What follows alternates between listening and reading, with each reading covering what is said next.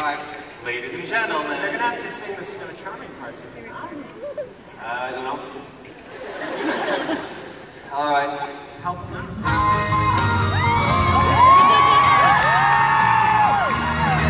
My dear prince and princess, your offer is meaningless. Don't give a damn about your rank. The gold in your sack, well, it isn't worth jack. I should make you fools go